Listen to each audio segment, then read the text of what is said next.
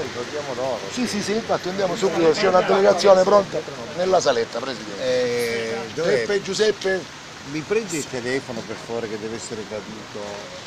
Telefono, telefono.